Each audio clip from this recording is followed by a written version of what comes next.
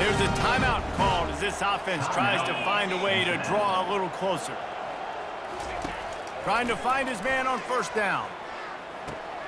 Got a man. It's Kiner. There's a timeout on the field. Tight game here late in the first half. That completion leaves us with second and medium. He's looking to throw. Got his man quickly. And that defense doesn't allow a cutback, and they get him out of bounds after a short gain. I really like this slot receiver, and I understand he's not the biggest guy in the world, but he just runs really good routes, and he's always under control. He can run option routes. He can run double moves. He does a great job cutting. And this sophomore able to wreak some havoc and get the sack. Timeout called by the defense. It's their first of the half as they'll go to the sideline and try to make adjustments. Fourth down, and the punt team sends it the other way. And the returner could find no daylight. He goes down. West Virginia has it in the offense ready to go to work.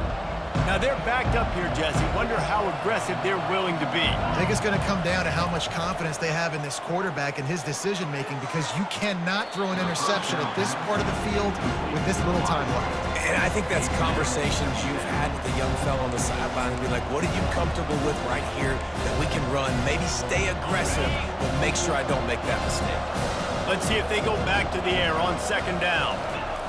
He's looking to throw. Dances away from the pressure, going to his left.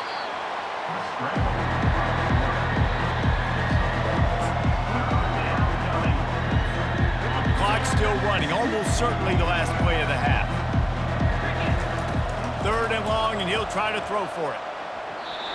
Make the connection. Incomplete pass, and one second remains. They'll have just enough time to get one more snap before the half. They're throwing for it on fourth down. Makes the grab well past the sticks. Oh, look out! He's at the 30. Inside the 10. And he ran away from the defense to take it in. Touchdown. And I, and I love this offense, man. Staying aggressive. Just because you got the lead, you know people can score points in bunches. This offense keeps the foot on the accelerator, scores again on the final play. Now this offense has even more of a cushion going into halftime.